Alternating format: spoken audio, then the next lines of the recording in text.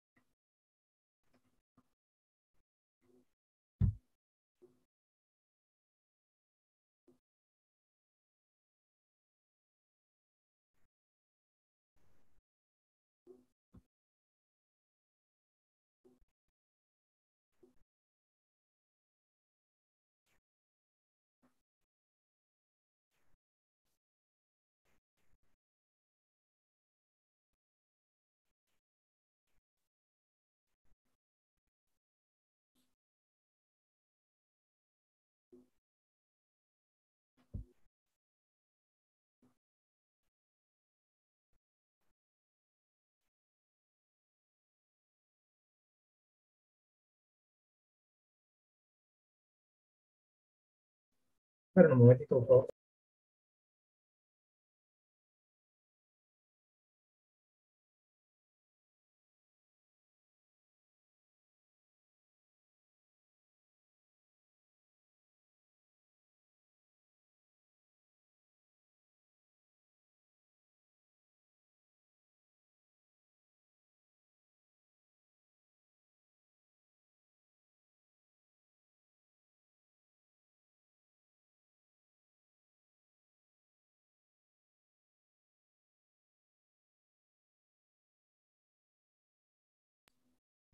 Bueno, en el día de hoy vamos a terminar con la unidad 1 y vamos a ver lo que sería una guía de, ejercicios o preguntas, más que nada que es para orientar, para que ustedes puedan estudiar la unidad.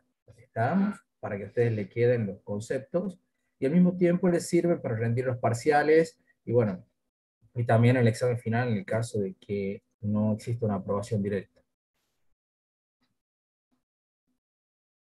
Eh, ya habíamos visto anteriormente en la, en la clase anterior de lo que eran los elementos básicos de un sistema de comunicación. Acá lo podemos ver un poquito más completo el diagrama, no está de todo completo porque depende de todos los sistemas de modulaciones que ustedes utilicen, ya sea analógico o un sistema digital. Entonces al comienzo tenemos la fuente de información que va a generar la señal del mensaje. Esa señal se va a adaptar para dependiendo de cada transmisor que ustedes utilicen o dependiendo del tipo de modulación que vamos a usar. Entonces se va a adaptar al transmisor, va a, va a salir una señal transmitida, o sea, el transmisor adaptada, modulada, o variada en amplitud, en frecuencia, en fase, o modulada en pulso, modulada en, amplitud, modulada en frecuencia digital, modulada en fase digital, en cuadratura, puede salir adaptada para una fibra óptica, una antena, un cable coaxial, etcétera que vendría a ser la parte del canal. Y luego esa señal recibida va a llegar a un, receptor. Esta señal recibida va a estar degradada, es una señal que no va a llegar ideal comparada con lo que es la fuente de información. O sea, ustedes van a generar una señal y esa señal cuando pasa por el canal va a tener pérdidas inherentes al canal. Además se le va a agregar ruido, además va a haber algún tipo de distorsión, algún tipo de retardo y etcétera. Eso lo vamos a ir viendo a medida que vamos avanzando en el programa de la materia. Y luego va a llegar un receptor. Ese receptor tiene que hablar el mismo idioma que el transmisor. No necesariamente tiene que estar en sincronía, porque va a depender del sistema que ustedes utilicen y el dinero que tengan para poder elaborar un sistema de comunicación. Porque un sistema de comunicación sincrónico es mucho más caro que un sistema de comunicación asincrónico, como es Internet o un sistema de comunicación asincrónico como es el broadcasting de una radio y de una televisión. Pero si ustedes lo ponen en sincronía, es más caro porque tienen que sincronizar las portadoras todo el tiempo y tienen que estar al mismo tiempo viendo, haciendo una verificación de las fases de las señales, etc. Entonces, dependiendo del sistema de comunicación que ustedes van a utilizar, sí o sí tenemos que hablar de un transmisor y de un receptor hablamos de modulación y de una demodulación en la parte del receptor. Y aquí la información que va a llegar al usuario, es decir, no importa lo que suceda acá, ustedes lo pueden ver esta línea de trazo como una caja negra. La fuente de información manda un mensaje, pasa el mensaje y llega al destinatario. ¿Cuáles son las fuentes de información que vemos aquí, en esta parte en esta, del primer diagrama? Y bueno, puede ser el habla, como ustedes están viendo, o sea, como ustedes están escuchando ahora, solamente mi voz, porque la cámara de mi computadora no está andando ahora. O no anda por el Zoom, a veces anda, a veces no anda, seguramente dentro de unos días va a andar, no sé por qué será. Después tenemos otro tipo de información, que puede ser la música. Ustedes pueden estar escuchando música. Otro tipo de información que podemos enviar, imágenes. Cuando mandan un, un meme o algún archivo, ustedes pueden mandarlo por imágenes. Entonces, el habla tiene una característica distinta a lo que vendría a ser las imágenes o, el video. El habla es unidimensional. Entonces, acá podemos ver que nosotros cuando veamos en el sistema, en sistemas de comunicaciones la transmisión de voz, o sea, la parte telefónica, nosotros podemos ver que el canal, un canal, de un sistema de comunicaciones, se puede limitar y puede ser entendible o puede, se puede considerar un buen ancho de banda cuando trabaja desde las frecuencias de 300 Hz a 3100 Hz o a 3.1 kHz. ¿Qué quiere decir eso? Que ustedes, limitando el ancho de banda del canal de voz, no, eso no quiere decir que el canal de voz tenga ese ancho de banda o que el cable de teléfono tiene ese ancho de banda. No. Eso lo diseñamos nosotros los ingenieros, o ustedes, o los técnicos en comunicaciones. Limitan el canal y dicen, bueno, ustedes van a tener una, vamos a trabajar con una banda de frecuencia de 300 a 3100 Hz. Esa es la banda de frecuencia que ustedes le dan. ¿Qué satisfacemos en ese caso? Que en esa banda de frecuencia nosotros vamos a tener una inteligibilidad, es decir, una capacidad para poder interpretar el mensaje suficiente como para que nosotros utilicemos ese ancho de banda. Y ustedes lo pueden notar bien porque con ese ancho de banda es demasiado como para que ustedes establezcan una comunicación telefónica. Ustedes deben tener teléfonos fijos en la casa, lo deben usar de vez en cuando. Levantan el tubo y pueden establecer una comunicación y es sumamente entendible. Inclusive tiene buena calidad de reproducción. Pero no es lo mismo si queremos utilizar o necesitamos enviar música, ya sea melódica o armónica, en una banda de frecuencia que es mayor. Se necesita mayor cantidad de mayor cantidad de frecuencias, porque ya la música emplea otros sonidos otras frecuencias, otros tonos elevados, que el habla o la interpretación o el canal de, o el canal de comunicaciones del teléfono utiliza mucho menos frecuencia. ¿Estamos? Entonces, hay una diferencia en las fuentes de información. Y si estamos hablando de anchos de bandas o frecuencias distintas, de que van em-, empezando a subir, por ejemplo, una imagen. Hay distintos tipos de imágenes tenemos una imagen estática. Si ustedes mandan una foto, es una imagen estática. Ahora, si mandamos un video, un archivo de video, es una imagen dinámica. Para ver un ejemplo, podemos ver acá cómo funcionaba o cómo funciona la imagen de video o cómo funciona la televisión, ya sea en blanco y negro o la televisión a color. Ahora ustedes son de la época de los LED o de los L, algo sumo. Empezamos con los LCD y los LED, que es distinto. Pero en un principio, antes, la televisión era en blanco y negro, no sé si lo recuerdan, como han visto en un televisor de tubo de redes catódicos. Blanco y negro, después pasó la televisión a color. Después vinieron los LCD.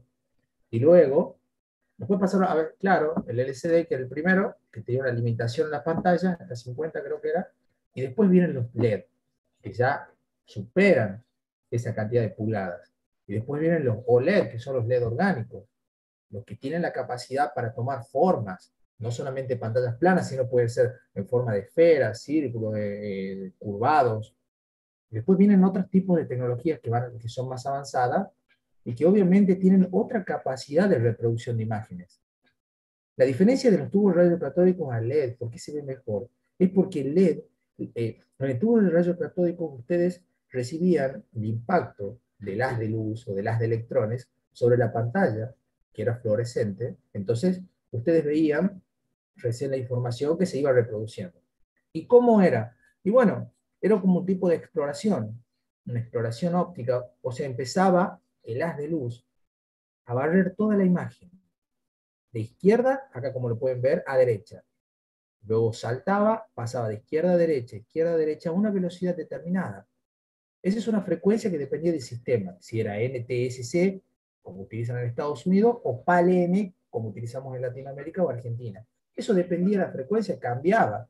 Cambiaba un poco eh, lo que vendría a ser los pulsos de sincronización de la televisión o los pulsos de blanqueo, porque cuando ya hacíamos un barrido completo llegamos al fin, ¿verdad? Podíamos llegar a este fin del campo 1. Y luego teníamos que volver para hacer el inicio de otro campo. O sea, como que se entrelazaba, teníamos un campo par y un campo impar. En algunos sistemas teníamos 525 líneas, en el sistema nuestro tenemos 625 líneas, que cambiaba, depende del protocolo, depende del estándar que utilizaba.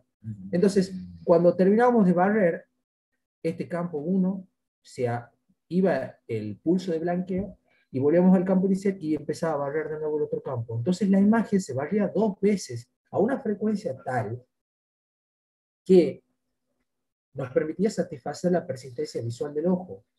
¿Y en qué se basa la persistencia visual del ojo? Bueno, ustedes reciben una imagen determinada y luego puede cambiar esa imagen dependiendo de la frecuencia y a nosotros nos parece que esa imagen o está estática o se mantiene en movimiento.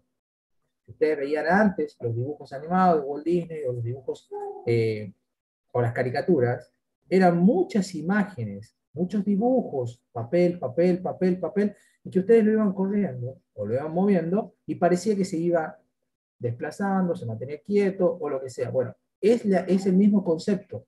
¿Por qué? Porque el ojo humano tiene una característica que se llama persistencia visual, o sea, que mantiene la imagen en la retina por un tiempo determinado hasta que se borra esa imagen. Porque ustedes lo que hacen es excitar las, las células de la retina, los conos, los bastones, los conos son las células que están dentro del ojo humano, en la retina, que nos permiten ver colores. Por eso tenemos los conos que se llaman rojo, verde y azul. Son los colores principales. Los colores primarios que le llaman uno de los sistemas de color, en el cual nos permite obtener distintos colores mediante la suma aditiva, o sea, la suma de ellos. Ustedes saben que con el, con el rojo, el verde y el azul pueden obtener muchos colores que va a depender también de la característica de la percepción de cada uno. La teoría del color es una teoría tan compleja, así como la carrera de ingeniería electrónica y como una maestría. La teoría del color es una teoría muy compleja. No podemos entrar a desarrollarla, pero sí más o menos ustedes pueden tener una idea y lo van a ver en sistemas de televisión. Antes nosotros veíamos los sistemas de televisión analógicos, con ancho de banda de 6,2 megas, etc. Ustedes van a ver ahora seguramente la televisión digital la televisión que es distinta a la televisión anterior, ya no se ven tubos de radiocatódicos, no veo. Puede ser que quede alguno, los monitores de las computadoras, pero ya prácticamente están en desuso. Ahora son todos LED completamente, o OLED. Entonces, hablábamos de la persistencia visual y de la característica que tiene el ojo humano. Entonces, ustedes pueden ver que, a cerrar porque ustedes pueden ver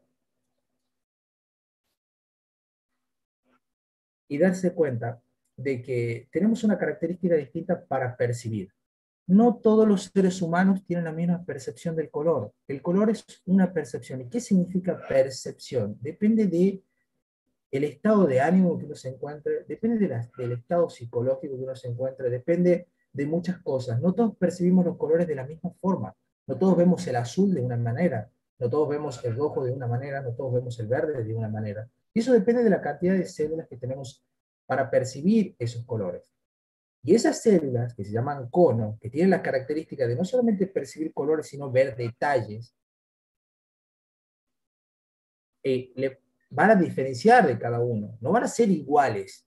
O sea, eh, yo, por ejemplo, no voy a tener la misma visión que puede tener un compañero, que puede tener otro compañero, yo tengo una edad más avanzada, en la cual mis músculos oculares ya tienen un cierto desgasto, ya mi retina o mi pupila no se abre, no se abre de la misma manera o la misma velocidad que lo puede hacer ustedes que tienen 20 años, y así sucesivamente. Entonces va cambiando. Y todas esas características nos permiten a nosotros como ingenieros o técnicos trabajar sobre, esa, sobre a una determinada frecuencia para que nos permita enviar una información, no solamente como imagen, sino como archivos de video, como los primeros archivos de video MPG, MPG1, MPG2, de ahí vienen eh, los archivos también de imágenes, los JPG, que son estándares que ciertas, ciertas personas, por ejemplo, los JPG son estándares de quién? De los fotógrafos o de las personas especializadas en imágenes. En Europa y en Estados Unidos armaron ese protocolo, JPG, o esa forma de enviar las imágenes o de comprimir las imágenes. Los mismos que trabajaban en la parte de cine, video, televisión, armaron el protocolo, el MPG. Y de ahí empezaron esos primeros protocolos. Y todos varían en función del ancho de banda, la cantidad de información que ustedes envían. No es lo mismo un archivo PNG que un archivo JPG que tiene menos cantidad. No es lo mismo un archivo de alta densidad que ustedes necesiten para hacer una gigantografía. Necesitan mandar un archivo mucho más grande. Y ahí, y ahí entran la cantidad de información. Ahí entra el ancho de banda que uno necesita. Y también en las imágenes, para no irme tanto hacia los otros temas, tenemos ustedes van a ver las señales de luminancia y prominancia. La señal de luminancia es los niveles de, negro al gris, al blanco. ¿Está? Cuanto más iluminación tiene una imagen, está más cerca del blanco. Y cuanto menos iluminación o lo apagamos a los píxeles o lo apagamos a los, al, haz de luz, va a estar al negro. Y la prominancia, que es una imagen, o sea, que es la señal que ustedes mandan de, de, de color, es otro tipo de señal que va a ir en un ancho de banda diferente y que le va a mandar la información de color, es decir, la luminancia va a decir, bueno, tengo un alto nivel de luz, pero para un color rojo, para un color verde, para el rojo y el verde, o para el verde y el azul, y así sucesivamente, que se van a ir mixando dependiendo de la imagen que ustedes quieren mandar. Eso es hablando de la fuente de información de imágenes. Ya hablamos voz, música, imágenes.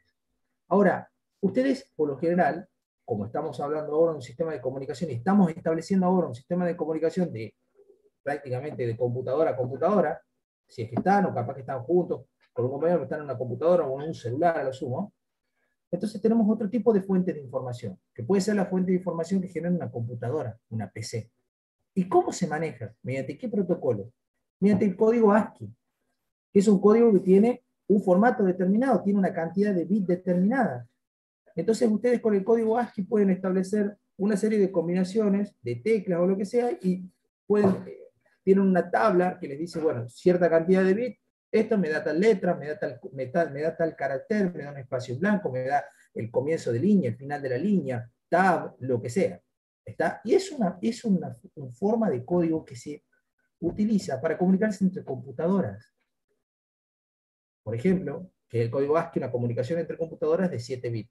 Es una transmisión, ¿qué tipo de transmisión es? Es una transmisión asincrónica. Porque ustedes pueden enviar, ustedes no saben cuándo van a recibir un texto, no saben cuándo van a mandar una información por la PC, o no saben cuándo yo exactamente voy a hablar. Capaz que me quedo callado 30 segundos, 20 segundos, me agarran a todos, empiezo a estornudar, lo que sea, los muteo, y ustedes no saben cuándo los voy a desmutear, cuándo voy a enviar información. Es una transmisión asincrónica. Entonces, cada paquete, cada pedazo de información que yo estoy mandando, por así decirlo, tiene un bit de inicio, tiene la cantidad de información, tiene un bit de parada y un bit de paridad, dependiendo del tipo de, protocolo que utilicen ustedes, si es necesario agregarle un bit de paridad o no, o, cómo van a hacer la detección de errores, etc. Eso lo vamos a ver después. Ustedes lo pueden ir analizando, ya se pueden ir dando cuenta que es necesario detectar los errores. ¿Y por qué nos conviene detectar los errores en la transmisión digital? ¿Por qué más sencillo? Pedir retransmisión de datos, es decir, que el, receptor pida una retransmisión de datos porque no ha entendido lo que ha pasado o hubo una falla de paquete o lo que sea, que ponerme a detectar los errores y volver a generar. Porque el circuito de detección de errores y la regeneración de la supuesta información que estoy recibiendo es mucho más caro que yo pedir que me vuelvan a enviar la información porque es más rápido. Hoy en día es mucho más rápido con la fibra óptica, con las antenas, lo que sea, mucho más rápido pedir, retransmitirme todo, porque ha llegado algo con, algún problema que a ustedes se le puede traducir por, alguna, por algún choque, alguna falla o algún, eh, algún delay en la información o alguna deformación en mi voz, por ejemplo, que en el ancho de banda este no sucede. Pero un ancho de banda más grande o mayor cantidad de información, ¿qué puede ser? Que se lo están descargando un torrent y, tengan alguna pérdida de paquetes o, se conectan a otro servidor pidiendo una retransmisión. Entonces, ¿qué hace el torrent? Eh, baja paquetes pequeños. y ustedes lo van acomodando, pero si ustedes lo abren al torrent, no sé si alguna vez utilizaron un programa, lo ven a, la información grande y, están bajando paquetes de un lado, de, del principio, del final, del medio, hasta que se completa todo. Y eso, al último, para completarse, ¿cómo es el protocolo? Bueno, le mandan, manda la información al transmisor y el receptor tiene que tener la misma información. Entonces, cuando se termina la misma información, el torrent se ha descargado completo y recién se habilita el archivo, te dice si es una foto, una película, un juego, a veces tienen que bajar juegos de 30 GB, 40 GB, ¿cómo hacen? Bueno, utilizan ese programa porque no siempre van a tener internet. Antes en mi época se cortaba internet y si hacíamos una descarga directa y se cortaba, chao. No se acostaba a dormir soñando que el otro día o esperando el otro día se termine de descargar. Bueno, hoy no pasa eso. No pasa eso por la, por la velocidad que hay. Primero porque es muy posible que no necesiten una noche para descargar algo, lo hacen mucho más, lo hacen antes. Antes no. Antes usábamos los programas y bueno, que se descargue cuando Dios quiera. Bueno, ahora no sucede eso, porque la tecnología va avanzando, pero los protocolos son los mismos. Ahora se utiliza otro tipo de tecnología porque es mucho más rápido, pero siempre es lo mismo. Porque está la detección de errores en el transmisor del receptor, como hablamos, están los multiplexores de datos o los modems, que es modulador de modulador. ¿Qué hace el modem? Está en una capa un poco más arriba, pero lo que hace es, eh, dice, bueno, recibo los datos y bueno, ¿para quién voy a enviar la información? ¿Lo envío a la nube o lo envío a Zoom? En este caso a Zoom, al servidor de Zoom, porque yo puedo grabar la clase o no la puedo grabar, y ese servidor de Zoom le da a los destinatarios, que son ustedes. Pero el modem es el que manda la información a Internet. El modem es el que hace, bueno, manda la información que sale de mi voz, llega al micrófono, se transforma en una señal eléctrica, pasa por, el, por la placa de sonido de mi computadora, la entrada de jack de 3.1 milímetros, entra, reproduce, la manda a Zoom, Zoom la manda al servidor, y de ahí va para todos ustedes. Llega a su casa, llega al modem de su casa, se demodula esa información porque llega como paquetes, ¿verdad? Se demodula esa información. Y se genera un protocolo que es el mismo que estamos hablando eh, nosotros para entrar a su computadora o a su celular y reproducirse en la bocina o en el parlante, para que ustedes me entiendan, para que ustedes me escuchen lo que estoy hablando. Es ese. En realidad, si ustedes lo ven en el día de los diagramas, los bloques son los mismos. Pasa que la tecnología o la forma que lo hacemos es distinta. Y en las comunicaciones cambia día a día. Chicos, es impresionante. Todos los años tengo que adaptar las clases porque son totalmente distintas y van cambiando. Ahora ustedes lo ven, en, en las primeras clases son parecidas, pero a medida que vamos avanzando el año, van cambiando totalmente porque la tecnología cambia y es muy rápido. Yo trato de mantenerme eh, en sintonía, o sea, como que estar actualizado. Pero a veces, bueno, la idea es que ustedes reciban la noción principal de lo que son los sistemas de comunicaciones, como para que el día de mañana ustedes ya van a trabajar en otro tipo de tecnología tan avanzada, no sabría decirle cuál sería, pero ustedes van a tener las bases. La matemática necesaria para entenderla, la base general de la teoría de la información para poder interpretarla, y los diagramas en bloques generales y todos los sistemas de comunicaciones que existen. Ustedes ya van a saber ahora, van a tener que estudiar, van a tener que ahondar en los temas, van a tener que utilizar libros de especialización, eh, van a tener que utilizar también hojas de datos de nuevas tecnologías, pero ustedes van a estar preparados, eso no tengo ninguna duda. Pero la tecnología va cambiando muy rápido. Entonces, hablando de los modems o multiplexores de datos, también por qué multiplexores de datos. Vamos a ver en la unidad 3 o 4, lo que son los multiplexores y los desmultiplexores. ¿Qué características tienen? Por lo general, los multiplexores nos permiten tomar muestras, por así decirlo, hacia grandes rasgos, y mandarlas por un solo canal, por un troncal, por lo que sea. Y el demultiplexor sí tiene que estar sincronizado con el multiplexor. ¿Por qué? a la frecuencia que trabajan los dos tienen que ser iguales para decir, bueno, este es el canal 1, este es el canal 1, este es el canal 2, el canal 2, el canal 3, el canal N, pero mandan la información por un solo canal, por, un solo, por una sola línea, o por una sola fibra, o por lo que sea. Y es lo que se tiende ahora.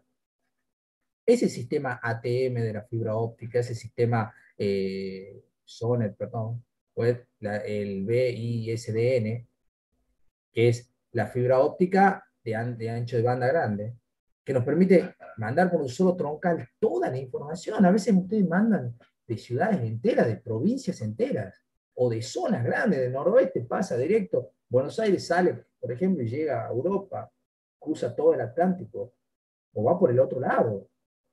Pero, ¿qué piensa que van a mandar? ¿Un cable por cada uno de los usuarios o un cable por cada una de las provincias? No, se manda un solo cable para todo el continente a veces.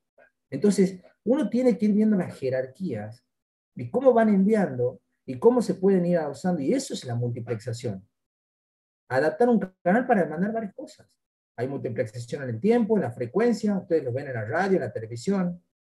Hay multiplexación de código, lo ven, no, no, no, lo ven en los celulares, pero lo vamos a ver. O sea que depende del código que ustedes utilicen. Hoy mandado al grupo cuál es el código de entrada. Y bueno, si es una multiplexación de código. Porque podemos estar usando el mismo canal, pero yo tengo el código guía 1, que es el código de hoy, y, un compañero que está en otra aula tiene otro código, entra otra, entra a otra aula. Y así, porque hay varios docentes que estamos trabajando al mismo tiempo, pero depende del código. Entonces, si hay una multiplexación de código, no es que estamos usando todo el ancho de banda nosotros ahora, no, usamos una parte. Y así nos vamos acomodando, porque el ancho de banda es caro. El ancho de banda no creen que sale dos pesos. Es caro y hay que aprovecharlo. Eso cuesta dinero y al costar dinero a nosotros nos puede costar el trabajo, porque somos ingenieros que supuestamente tenemos que tener un buen rendimiento. Dinero, potencia y sistema de comunicación. Tiene que funcionar bien, porque si no funciona bien, ¿para qué nos están pagando? Ya sería innecesario que trabajemos, lo puede hacer el cliente.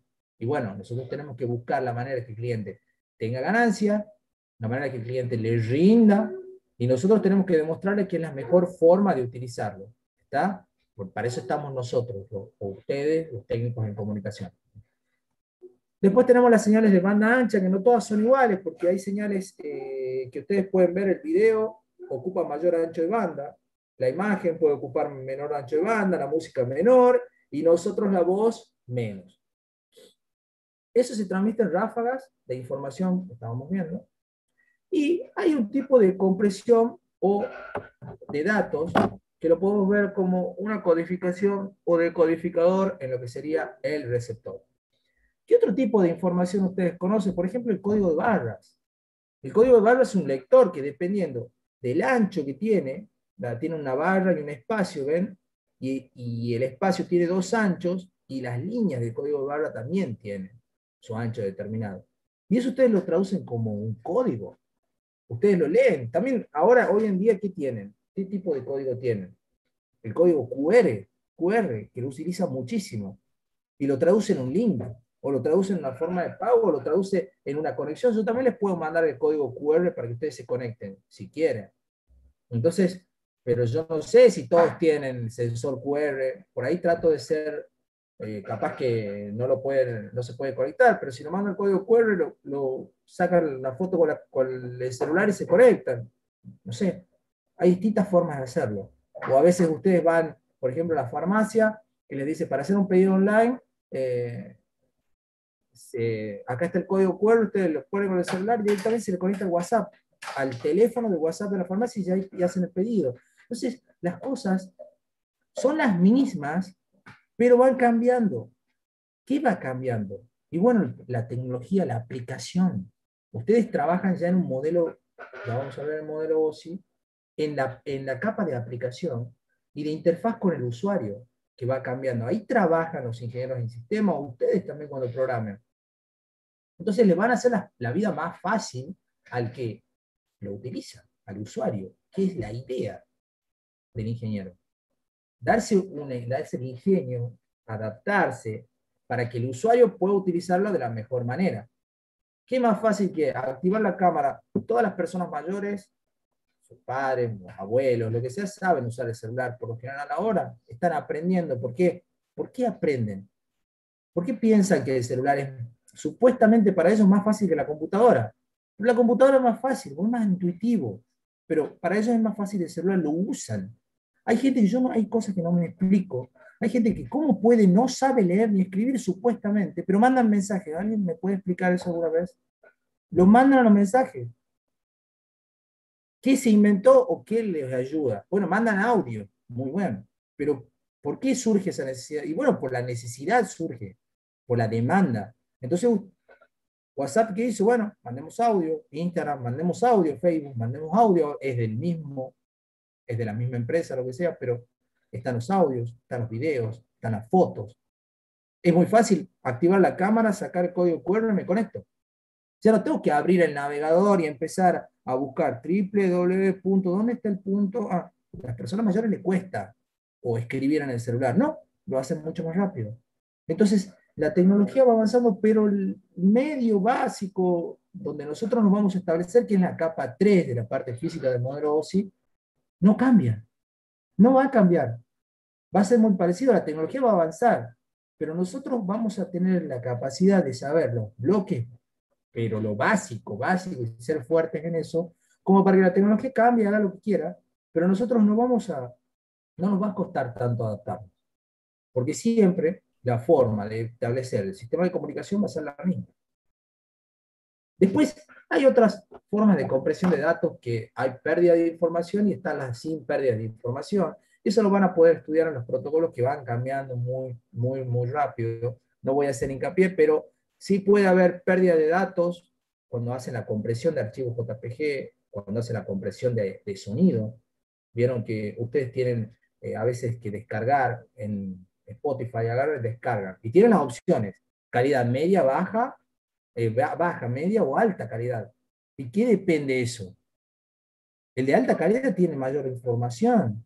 El de media calidad, bueno, se ha comprimido algunos datos. Y el de baja calidad, si uso la máxima compresión, que quede la inteligibilidad y se pueda reproducir la música a cierta calidad, que un DJ o ustedes, las personas que saben de sonido, de música, se dan cuenta de la calidad. Algunos no, otras personas que dicen, no, yo quiero como, como música de fondo, para un bar, para lo que sea, bueno, bajo, baja calidad no me molesta mucho. No hay una reproducción muy, muy necesaria de sonido. Pero si ustedes necesitan hacer un, un, un mix o algo, necesitan calidad.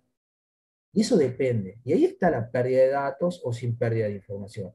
Lo importante es que no se pierdan información. Se pueden perder algunos datos, pero lo importante es que se entienda lo que quiero mandar. Lo importante es que llegue ayuda, eh, tengo una emergencia y no llegue cualquier cosa. ¿está? Eso es lo importante, eso es lo que buscamos nosotros, el mensaje en sí llegue. Podemos ver algunos algoritmos de compresión de datos, como ser el JPG que hablaba y el de video, el MPG. ¿El JPG qué utiliza? El JPG utiliza una transformada que se llama de coseno discreta. Y lo que hace, toma un bloque de 8x8 y hace una transformación de, Fourier. La transformada de Fourier que ustedes estudian, la serie de Fourier que ustedes estudian, esa lineal, esa serie de Fourier eh, en, función del tiempo, es la, es la básica. La serie de Fourier puede tener n dimensiones. La serie de Fourier la puedo hacer este, no solamente lineal. A ver, ustedes eh, estudiábamos la serie de Fourier y, por ejemplo, teníamos esta señal en el tiempo, y nosotros le aplicábamos la serie de Fourier, ¿y qué hacíamos en sí? Pasábamos del dominio del tiempo a qué dominio? De la frecuencia. ¿Verdad? Entonces, esta señal x de t ya es x mayúscula, puede ser en función de omega o de f, o poner omega acá, o poner f acá, y pongo f, a veces ponen coma algunos autores, ya que me van a aparecer, bueno, si es la serie de Fourier, me pueden aparecer los armónicos. Va a tener el primer armónico, el segundo, el tercero, el cuarto, el quinto, y va a depender de la serie de Fourier, o sea, la sumatoria de los coeficientes. Tenemos la sumatoria del, del valor de continua, va a tener esta serie, y después tenemos los coeficientes del seno y del coseno, dependiendo si es simetría par, impar, lo que sea. Todo eso lo vimos en señales y sistemas del año pasado. Bueno, esta serie de Fourier no solamente es lineal, porque si ustedes también pueden hacer una serie de Fourier bidimensional, o sea, que tengamos una imagen, un plano, algo así. Y esta imagen puede tener un dibujo, un garabato así. Bueno, Y también puede venir eh, otra información así. Viene otra acá. Y le puedo hacer la serie de Fourier así. Y así. Y es bidimensional. Es una superficie. En realidad Fourier, cuando hace su análisis en la teoría general del calor, lo que él hace es demostrar de cómo se propaga el calor cuando ustedes calientan algo, por ejemplo, una chapa de acero.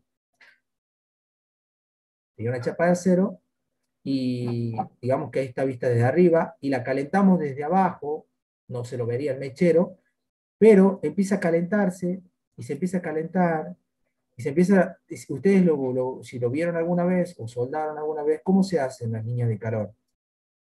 Se van armando como superficies X potenciales de calor, ¿verdad? Donde el medio, bueno, pero el tema es cómo se propaga esa onda, o sea, desde acá para acá, ¿verdad? hacia, el, hacia, el, hacia los costados de la chapa o del pedazo de calor o del pedazo de hierro o lo que sea. Bueno, se propaga de una manera determinada. Y ese es el análisis de Fourier que tuvo que hacer él. O sea, en realidad tuvo que presentar su teoría analítica del calor de esa forma porque matemáticamente la serie de Fourier no tenía una consistencia, o sea, no tenía una demostración general. Los matemáticos eran reacios a decir que la serie era una teoría o, estaba completa. ¿Por qué? Porque no se puede, había un problema en la discontinuidad acá, de las señales que tienen discontinuidades. Entonces, la gran y, todo, y, todos los matemáticos de esa época más importantes a Fourier no le, no le daban mucha importancia, porque decían que no, eh, no era completo la matemática para demostrar cualquier tipo de señal. Pero en realidad después Dirichlet demuestra que sí, que las discontinuidades tienden al valor medio, a este valor, en la serie de Fourier. Y pone las condiciones de Dirichlet para que exista tanto la serie Fourier como la transformada de Fourier, como la serie discreta, la transformada discreta, etc. Bueno, acá, esta transformada, esta serie, si ustedes lo pueden ver, que el año pasado vimos, cuando vimos transformada, cuando vimos serie discreta de Fourier, que y la transformada discreta de Fourier se correspondía con la serie continua de Fourier. La transformada, la serie continua de Fourier era los coeficientes de la transformada de Fourier en tiempo continuo, y ahí se relacionaban, porque son seis transformadas. Entonces, hay una relación bionívoca entre una y otra. Y acá podemos ver que la transformación que hay que depende del valor, ver, de un lado y del otro, son, eh, son sumatorias, de coeficiente 0 hasta 1, son, es una matriz de 8 por 8, una imagen, la dividen en píxeles, y le hacen una transformada de Fourier, y eso nos da una información. Esta es la, señal, y esta es su transformada, f de xy, o sea que estamos en el eje x y el eje y, y esta es su transformada. Y acá podemos ver cada uno de los coeficientes de la serie. Entonces, ustedes lo que hacen es, a una imagen le hacen un tratamiento. Le hacen un tratamiento con la transformada discreta de Fourier y tienen una información. Y esa es la que mandan. O sea, esa es la compresión que hay. Ahora, el que descomprime, el que quiere interpretar la información, tiene que hablar el mismo, el mismo idioma. Tiene que hacer una transformada inversa, discreta de Fourier, para obtener la información. Esa es una forma de comprimir los datos. Porque si ustedes pueden ver, acá, en esta misma diapositiva, tenemos cambios de colores, miren, del celeste, se va yendo hasta el color azul. Y a veces, entre cambio y cambio, no se puede percibir muy bien. Y esa percepción que tenemos nosotros, que al mismo tiempo tiene que ver con la agudeza visual, etc., la utilizamos los, o sea, si le podemos llamar falencia, porque en realidad no son falencias, yo no conozco una máquina más perfecta que el cuerpo humano porque por algo existe esa, esa puede decir, este, ¿cómo, le ha dicho? Esa agudeza visual o esa percepción que tenemos. ¿Ustedes se imaginan que nosotros recibamos toda la información que estamos viendo todo el tiempo, que nuestro cerebro la esté todo el tiempo procesando? No podríamos vivir. No se podría vivir, tendríamos una carga totalmente eh, excesiva en nuestro cerebro. Por eso nuestro cerebro tiene una percepción o una visión determinada que la interpreta. A veces hay, hay teorías que hablan de que la realidad no existe si no la vemos. Nosotros la podemos interpretar de una forma. Otra persona la puede ver de otra forma. Y a veces le llaman enfermedades mentales o psicológicas y quizás no sean así. Son percepciones distintas del mundo. Hay alguien que tiene mucha más percepción que otros. Y otras personas que sienten o ven o escuchan distinto. No todos somos iguales. Entonces, trabajando en una media de seres humanos, sacando un promedio, podemos utilizar la matemática o la ingeniería para mandar esa información por un ancho de banda reducido, con una potencia considerable, y poder usarla. ¿Está? Eso es lo que vamos a hacer nosotros, los ingenieros o los técnicos. Vamos a utilizar la redundancia que hay entre las tramas, vamos a utilizar la redundancia que hay en interpixel, porque entre pixel y pixel no hay mucho cambio, lo usamos. Vamos a usar una redundancia psicovisual, no todos van a tener la misma percepción. Ustedes aquí lo ven como línea continua, pero si empezamos a hacer un, zoom. Ya se empiezan a ver los píxeles. Bueno, pero el cerebro que hace lo une, lo une como una línea al píxel. ¿Está? Y eso lo usamos. Lo usamos porque es suficiente. No es necesario. ¿Para qué? Para decir que hay una letra A, una letra B, un signo sumo, un menos, o decir 10 mil pesos. Ahora, en las comunicaciones interbancos o en las transferencias, un cero sí es necesario, cuidado. No es lo mismo 100 mil que un millón, o dos ceros, o una coma. Ojo, ahí sí los datos son ultra importantes. Pero en algunos casos podemos hacer compresión de datos. ¿Está?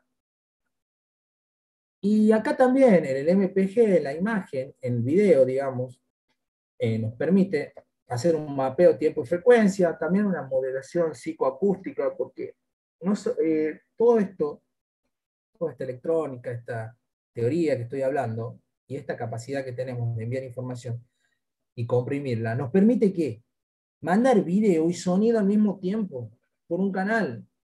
Ustedes están recibiendo la imagen y el sonido en la casa. Y la interacción, porque yo estoy, puedo mover, puedo graficar, puedo hacer cosas. Si tuviera el video me verían la cara que tengo, etc. Ahora vamos a entrar a un tema que son las redes de comunicación. A grandes rasgos, chicos, esto ustedes lo pueden súper ahondar, pueden ver y hacer. Y quizás saben más que yo de redes, porque hay algunos que son técnicos de redes, etc. Pero a grandes rasgos, ¿qué es una red de comunicación? Tenemos lo que vendría a ser los hosts o, o las computadoras, a donde empieza la información y donde va a terminar. Yo, yo les quiero mandar a ustedes no voy y dejo la, excepto que cargue, por ejemplo, yo los exámenes finales los dejo en la nube.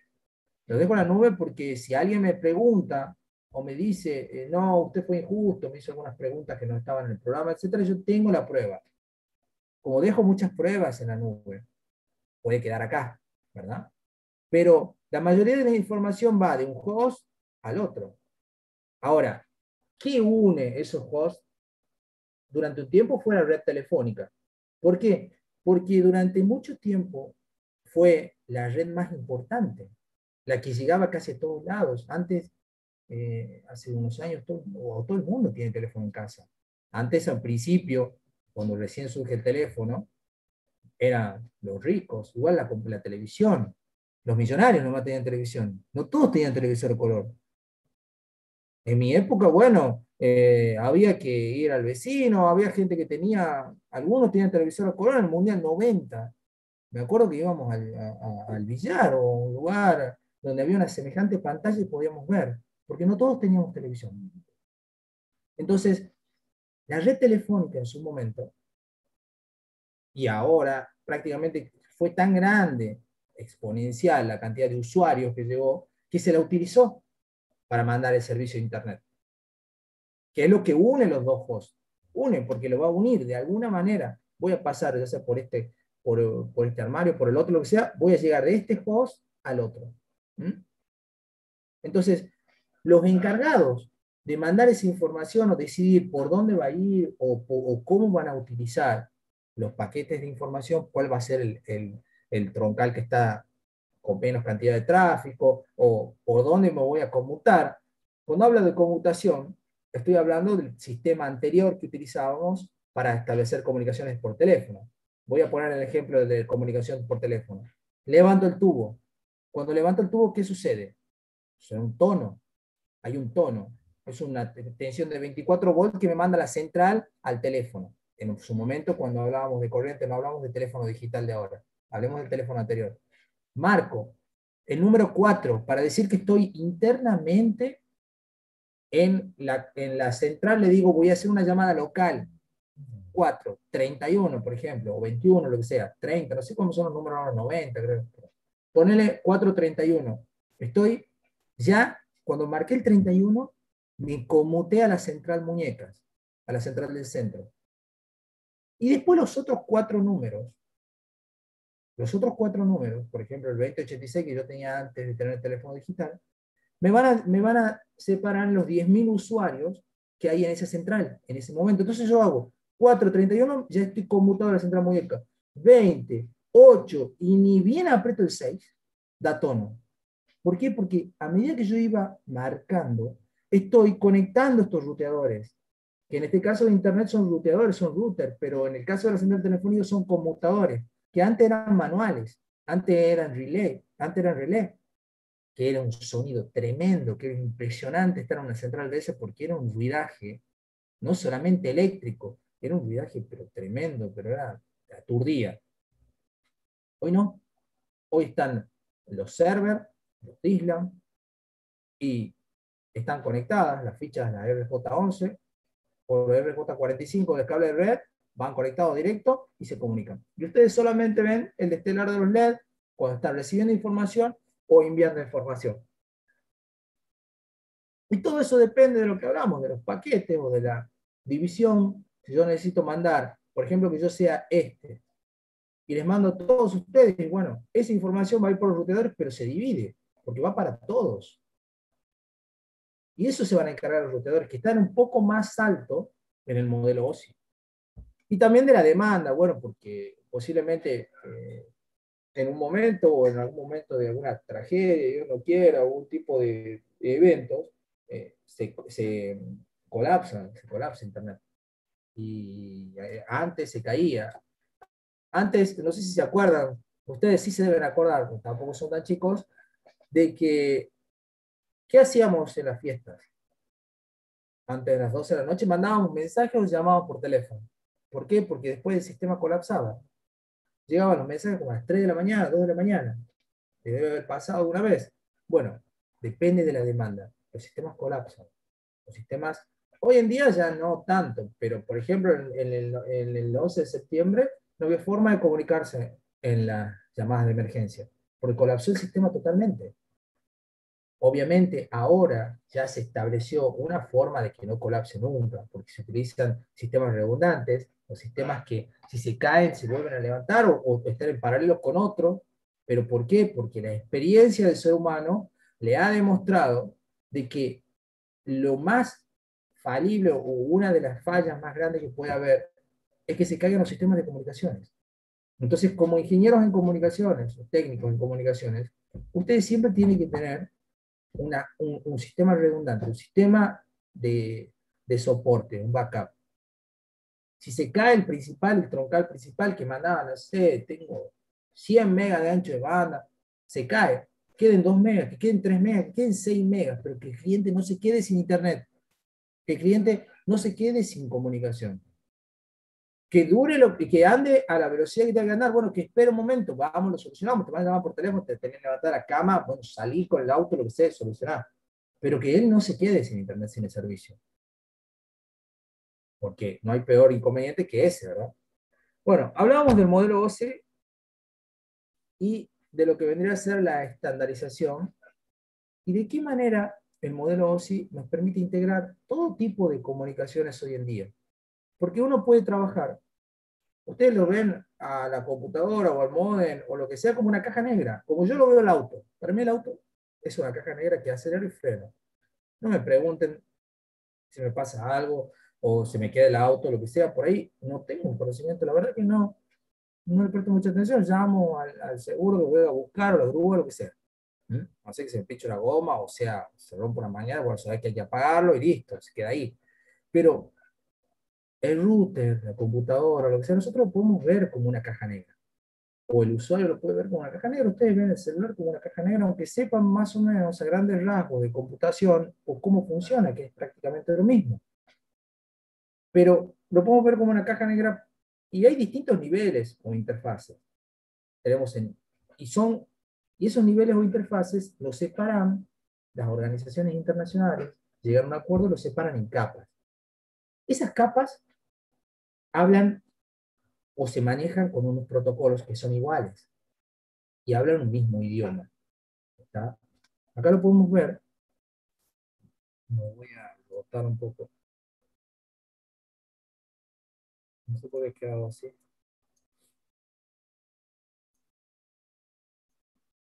Chicos, ¿están, ¿están ahí? ¿Me escuchan? Sí, profesor. Sí, Sí, profe.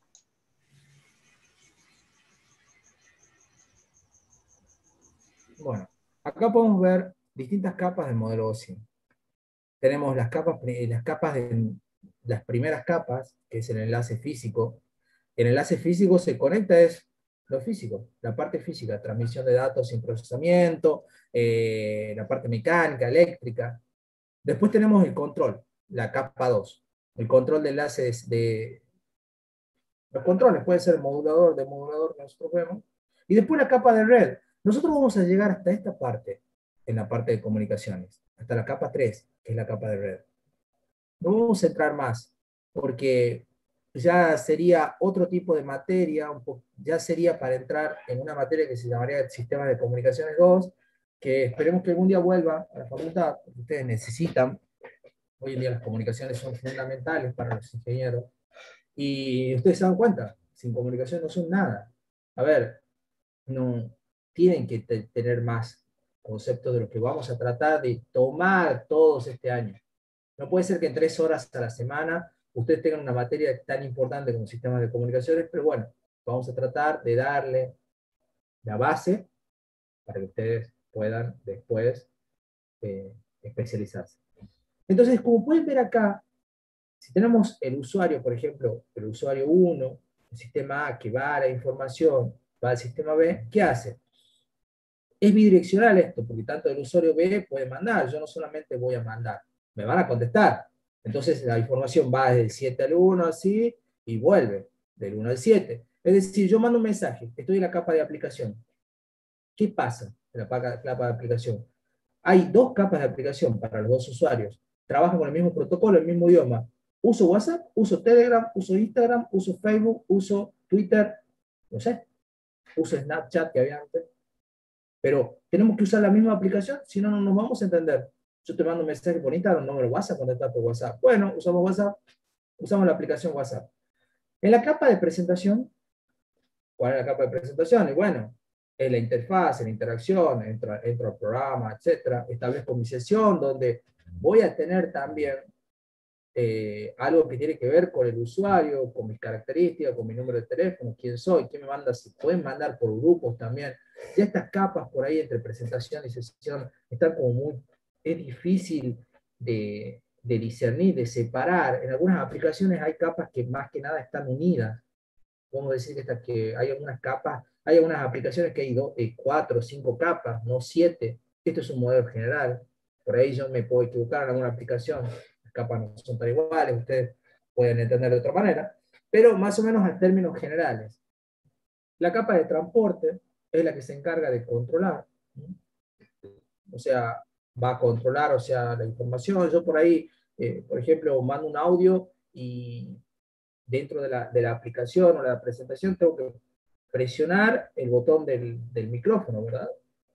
Y después, eh, uno, justo aparece alguien o se escucha algo, cancelo, voy para la izquierda, cancelo. Si no, también está la opción de eliminarlo. Eh, si se envía y, y no le llega al, al cliente, al receptor, eh, queda la tilde una sola vez, y así sucesivamente. Entonces, acá, si ustedes pueden ver, ya voy, me voy moviendo de capa en capa hasta que llego a la parte de red. Yo ya lo envié y ya no tengo control. Ya fue, ya pasó, ya llegó. Decir, uh, Dios, ahora estaba la opción de borrar, antes no había la opción de borrar, o eliminar para todos, pero a veces Si ustedes mandan un mensaje, le mandan al esposo o al novio, lo que sea, y le borran el mensaje, es peor, parece que es peor. Parece que es peor si no han leído mal. Pero bueno, pasa. Llegan a la capa de red, ya ahí ya no tenemos control nosotros. Porque la capa de red es, eh, se va a encargar del control de flujo, acá va a estar el modem o los multiplexores. Ya acá se ha transformado la información en paquetes. Esto lo va a transformar.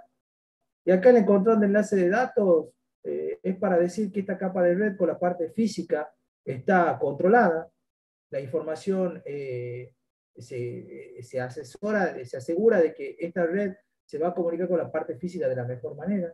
Solamente está para eso. Y acá podemos hablar de una, fibra óptica, de una antena, de un cable coaxial, lo que sea. Vamos.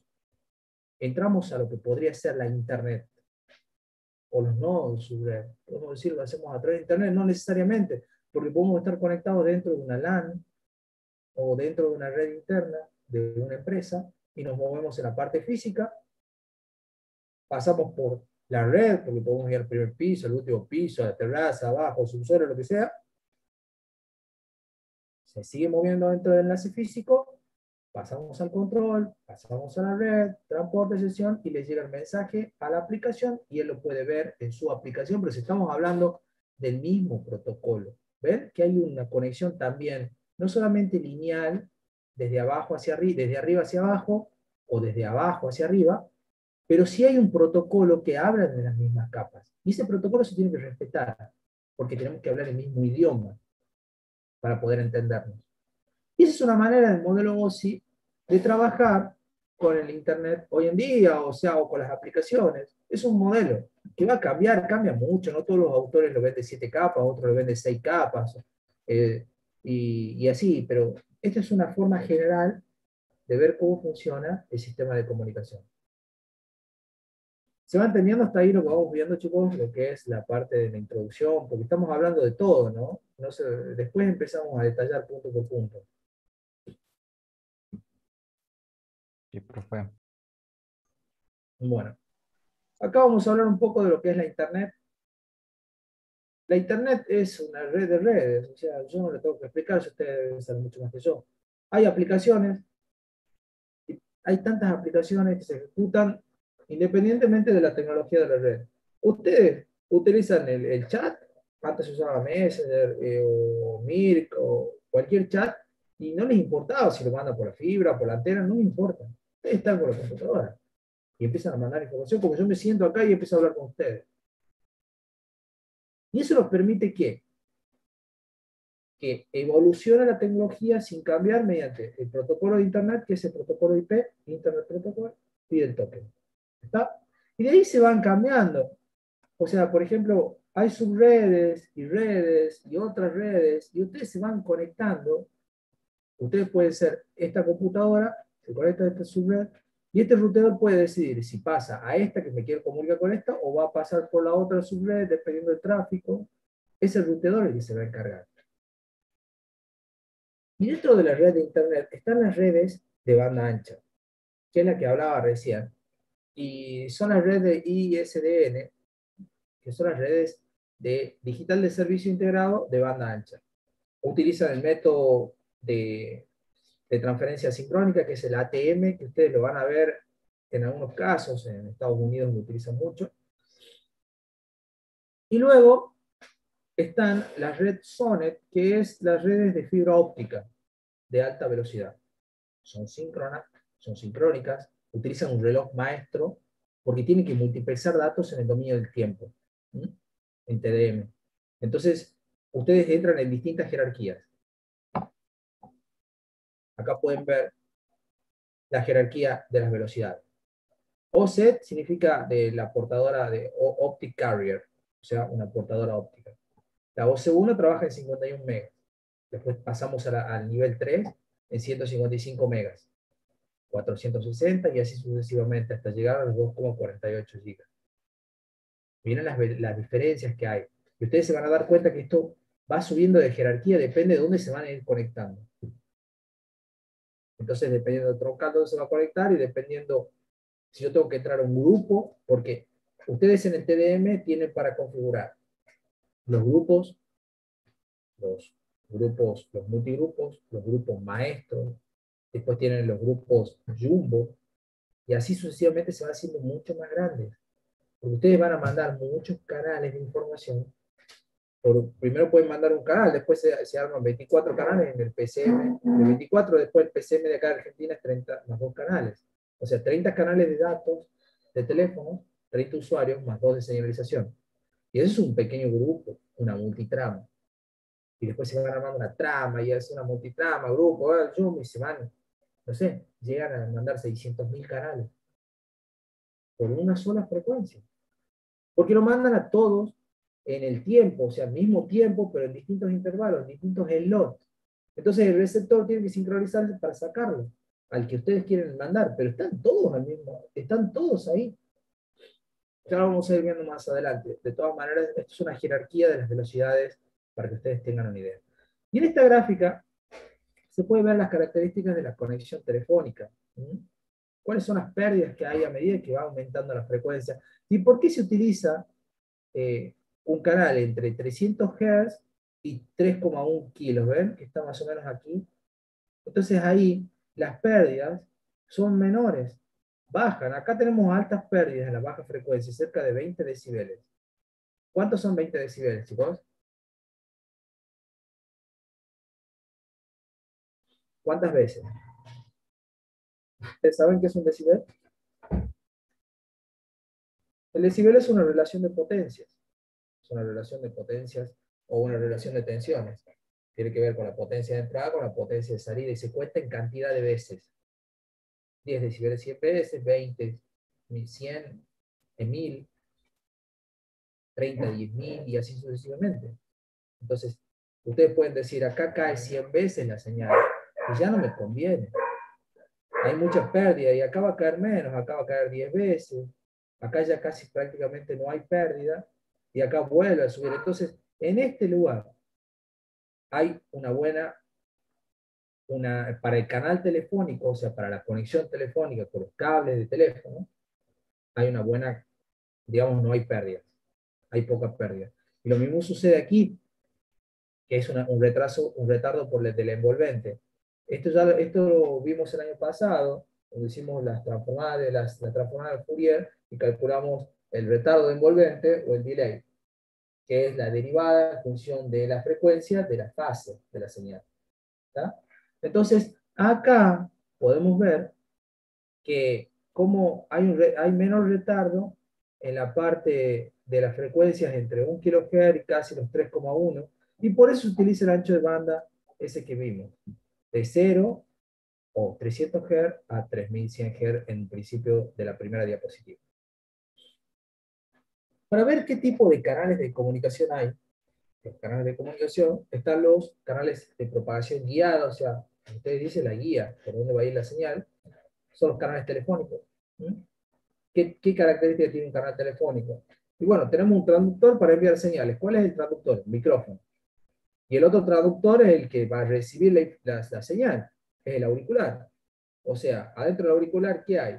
Y bueno, hay un imán que se va a ir moviendo dependiendo de las vibraciones que tiene la corriente eléctrica esta. Acá podemos ver la corriente microfónica que hay en lo que vendría a ser el teléfono fijo de antes. El teléfono fijo mandaba un tono o mandaba una corriente continua todo el tiempo que tenía que estar establecida. Que se establecía cuando? Cuando yo levantaba el tubo, tengo el tono, ¿verdad? Y empezaba a marcar los números. Cuando me atiende, la persona del otro lado se, se, establece, se cierra el circuito y se manda una corriente continua. Sobre esa corriente es la que va mi voz, es la que va la voz de ustedes o la voz de la persona. Obviamente no pueden, van a ir las dos voces, pero si estamos hablando los dos al mismo tiempo, ¿qué pasa cuando uno habla por teléfono? Bueno, se tiene que callar para que hable el otro, ¿verdad? Porque si no, no se entiende nada. Entonces acá sucede lo mismo, habla uno, habla el otro. Esta esta, la voz es mía, es esta, esta señal que va modulando esta corriente continua y ahí aparece el término de modulación. La continua es una continua. Nada, nos lleva información. Una continua. 10 voltios, 5 voltios, lo que sea. La voz mía va sobre esa corriente. ¿Y cuál es el traductor que adapta mi voz? Y el micrófono. Y el traductor que la recibe esta corriente es el auricular, que por el imán o lo que sea les va a hacer vibrar y va a salir la información por el auricular de ustedes y lo va a hacer vibrar al tímpano y ese es el que va a interpretar, va a generar esa, esa vibración como una señal eléctrica que va a llegar al cerebro. Y nosotros lo vamos a interpretar como la voz. ¿okay? Va a llegar a la parte auditiva de nuestro cerebro.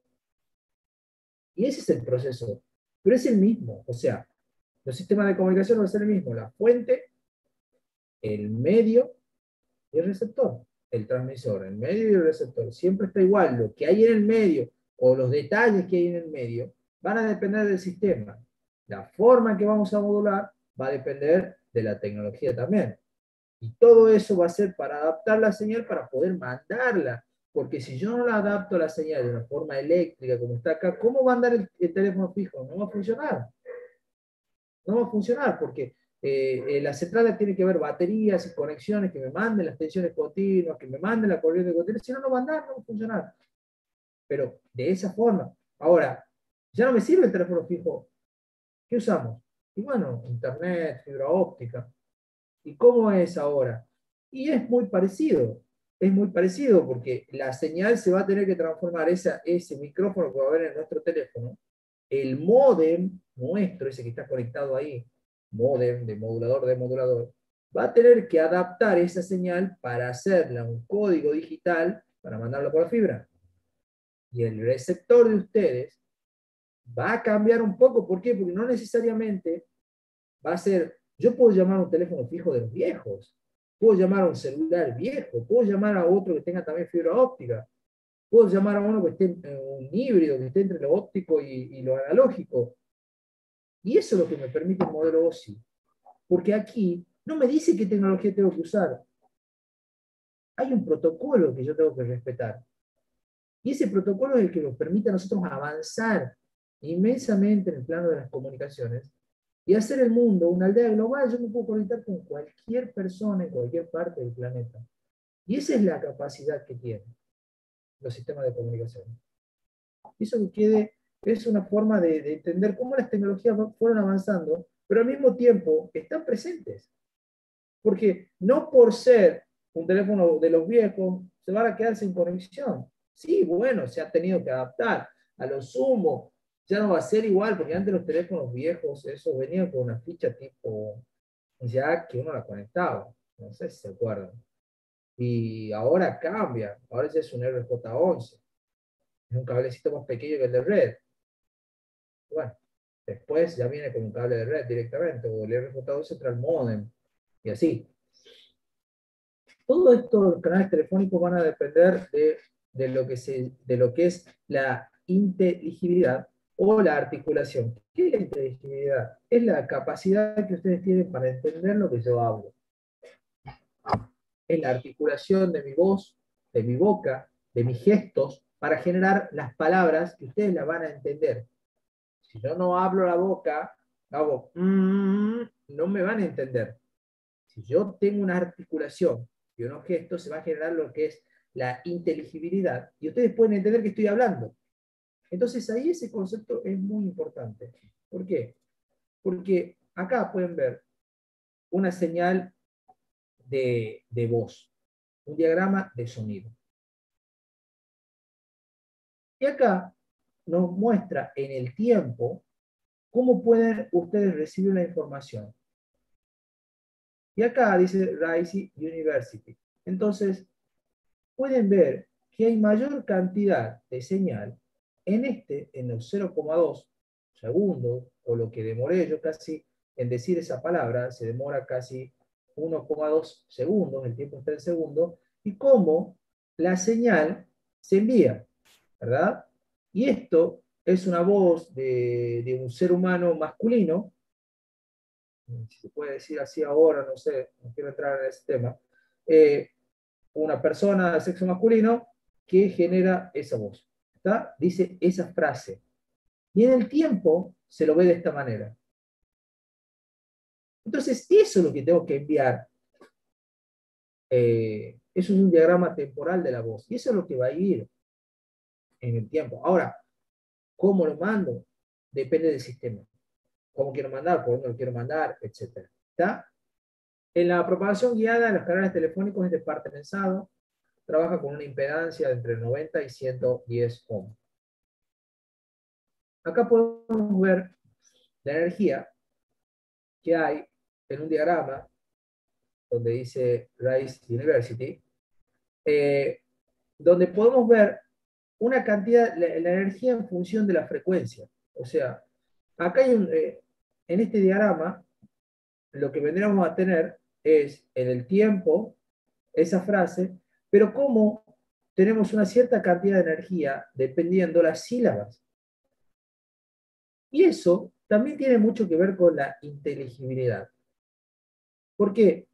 Porque si nosotros utilizamos, por ejemplo, en este canal donde se ve la cantidad de energía que hay, miren aquí, en las frecuencias bajas hay una energía alta. ¿Ven? Aquí también, en este tiempo. Y, podemos ver en un diagrama, eh, que puede ser estadístico o en promedio que se haya sacado, que hay mayor energía a menor frecuencia. Y la inteligibilidad, a medida que aumenta la frecuencia, o sea, empieza a aumentar la inteligibilidad hasta un cierto pico y luego baja. Entonces, ¿por qué se utiliza, como habla uno de los autores, en por qué se utiliza un ancho de banda de 300 Hz a 3,4 o a 3, que tiene un ancho de banda, o sea, de 300 Hz a 3400 sería los 3,1 de ancho de banda que tiene un canal telefónico. ¿Por qué? La energía relativamente es buena de la señal y la inteligibilidad aumenta. Entonces lo utilizamos ahí. ¿Está? Porque si ya nos vamos para acá, ya empieza a bajar la inteligibilidad. Entonces ya no se compensa porque tenemos que utilizar como vendría a ser una situación de compromiso. Que se entienda lo que quiero mandar y que llegue con una intensidad suficiente para poder reproducirlo. Y esto es un límite que se utiliza en la banda de paso del canal de voz de los sistemas PCM que vamos a ver, que es de 4 kHz. El sistema PCM es de 4 kHz y se muestra a una velocidad de 8 kHz. Como deben haber visto el año pasado en señales y sistemas, que veíamos el teorema del muestreo. Es muy importante, porque ese teorema nos permite a nosotros determinar a qué frecuencia debemos muestrear una señal para que recibirla con la menor cantidad de errores posibles.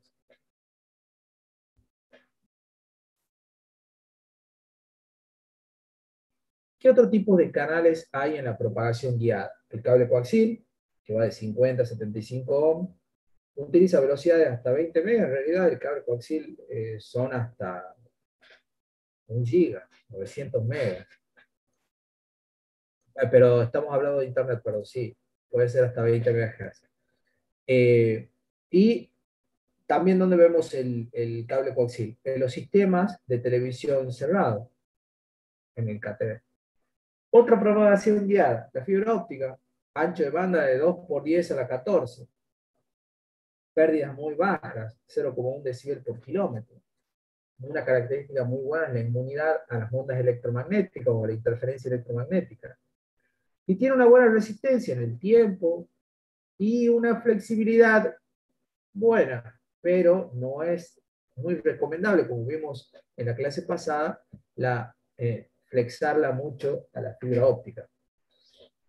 Después tenemos los canales inalámbricos.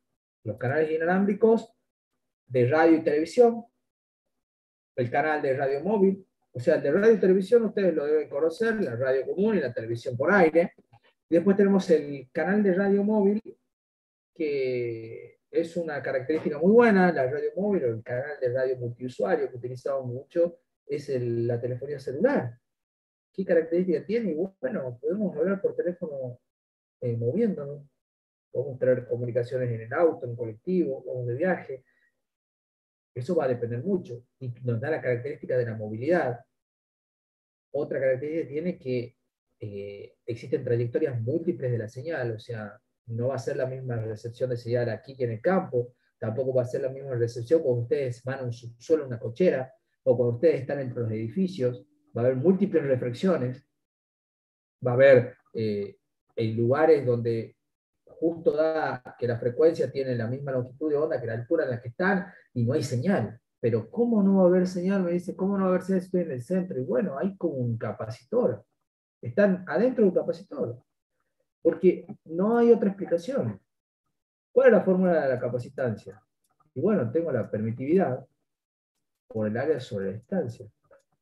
Y puede haber un capacitor en el vacío, sí, puede, no necesariamente tiene que ser un conductor, ustedes tienen el techo y acá tienen el suelo.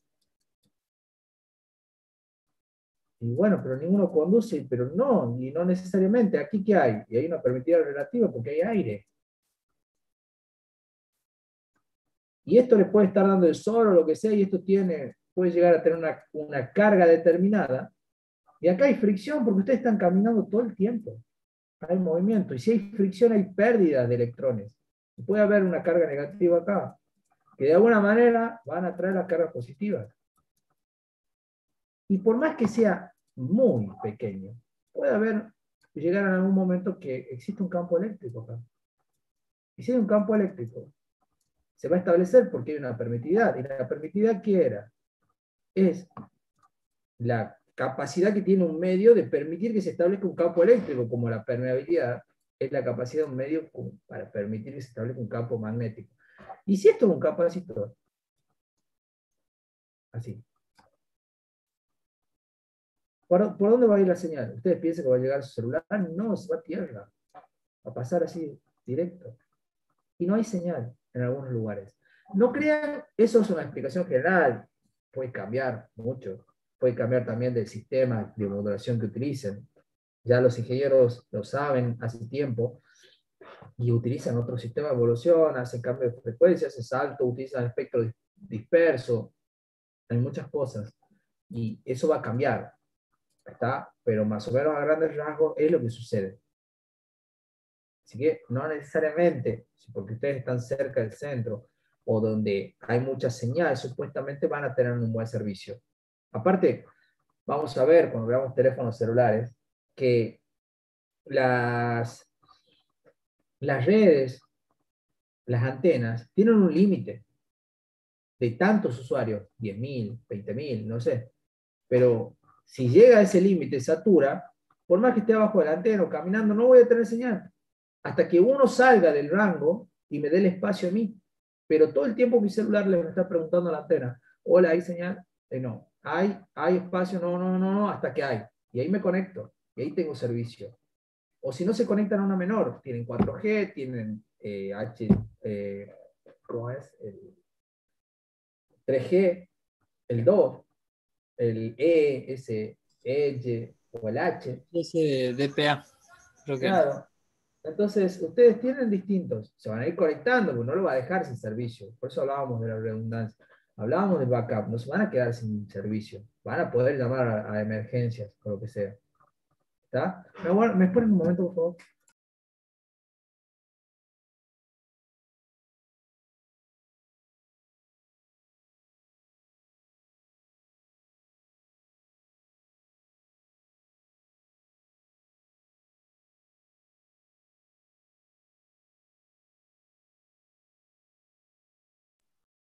Y bueno, después tenemos de canales inalámbricos la comunicación satelital. Bueno, la ventaja, súper ventaja, la cobertura de área amplia que tiene, que es prácticamente todo el mundo. Y hablábamos la vez pasada de comunicaciones en barcos o comunicaciones en, aviones.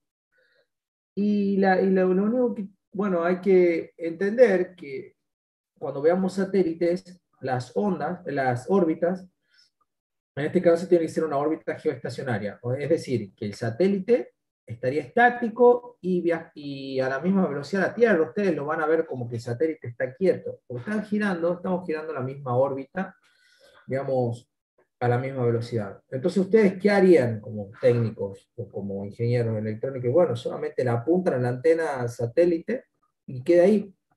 Si ustedes lo ven a la televisión de DirecTV o, van, qué sé yo, de viaje o ven algún, por alguna autopista y ven los edificios y hay varios usuarios que tienen la antena DirecTV, están, están todas apuntando hacia el mismo lugar.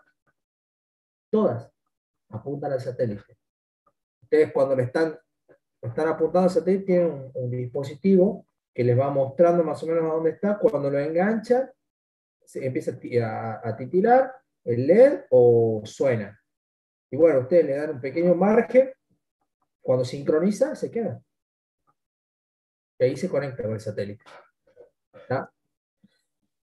Profesor, Sí, eh, los satélites no producen problemas a, los- a los telescopios al momento de tomar eh, sus mediciones.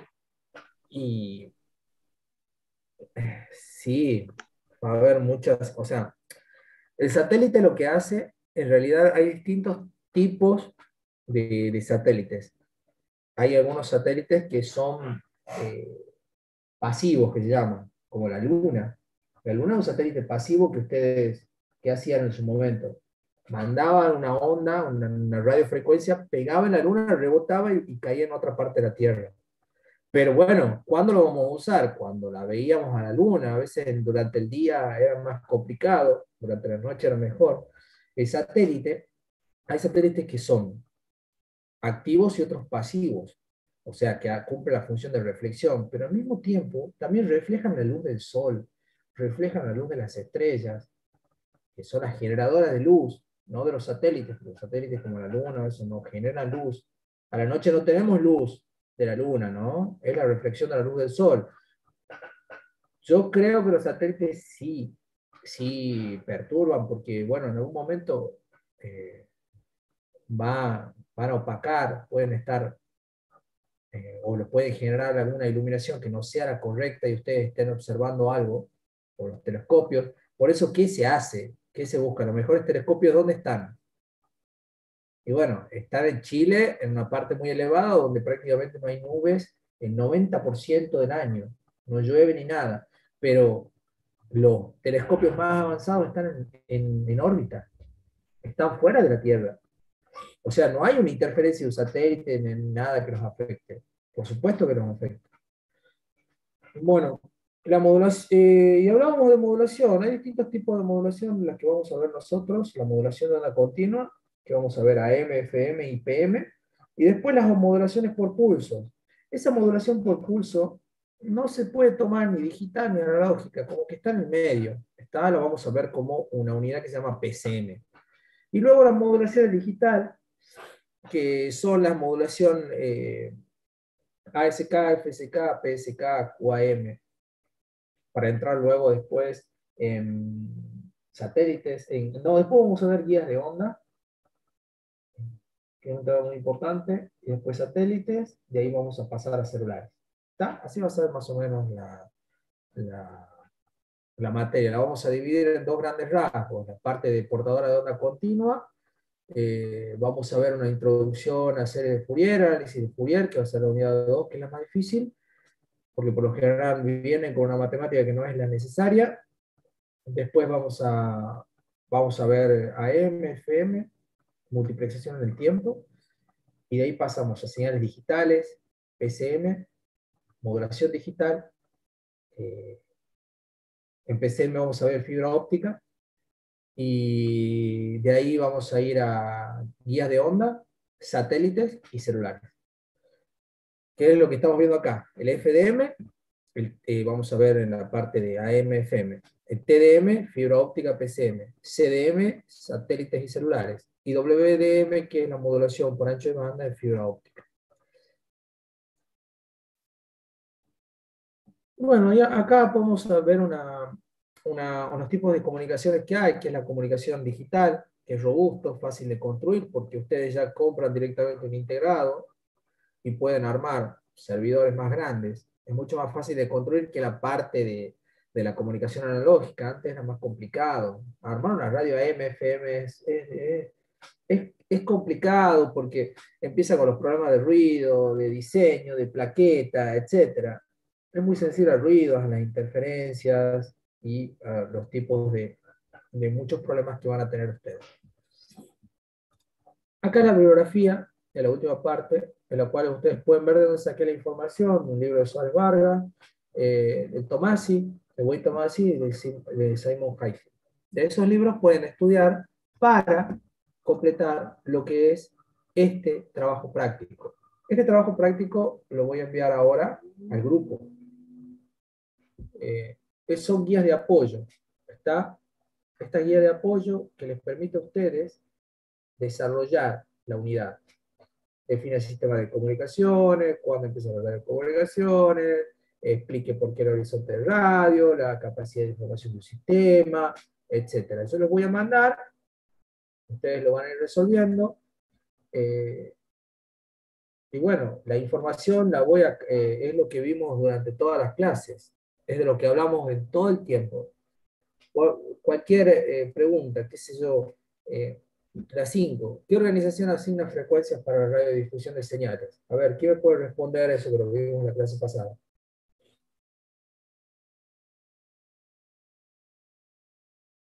¿Y la ENACOM?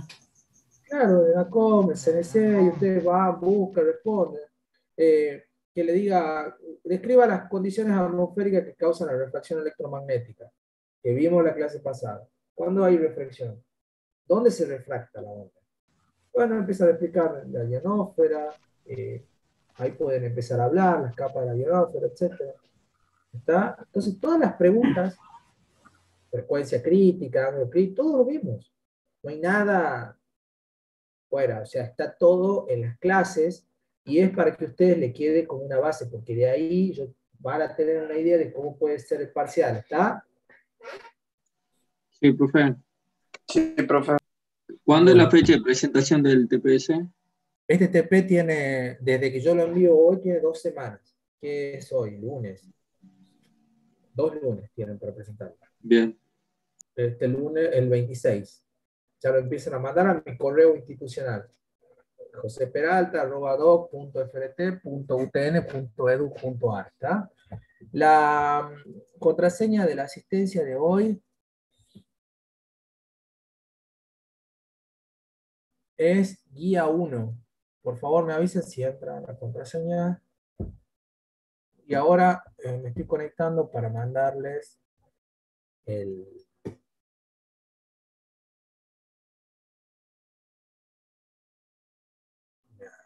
el Word. ¿Cómo es la contraseña, profesor? Disculpe. Guía 1, todo seguido como la asistencia. Sí, está bien la contraseña, profe. Bueno. Sí, entra bien la, contraseña.